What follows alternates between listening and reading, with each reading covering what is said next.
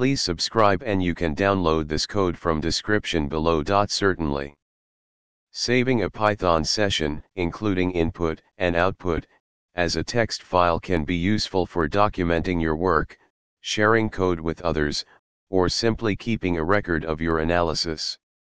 One way to achieve this is by using the script module in the IPython environment, which captures both input and output and saves them in a text file.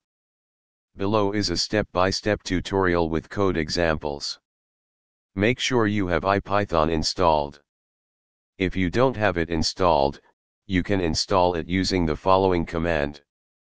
Launch an IPython session by typing ipython in your terminal or command prompt. In IPython, the script module allows you to save the entire interactive session to a file, including both input and output. After running the above code, you will find a file named session underscore script.txt in the current working directory.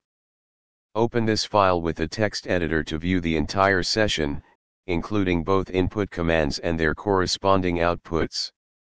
You can change the script underscore file name variable to any desired name or path to customize the location and name of the saved text file.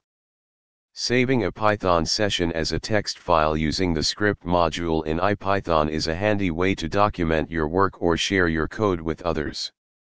By following this tutorial, you can capture both input commands and their corresponding outputs in a single file for future reference. Feel free to adapt the code to suit your needs and preferences.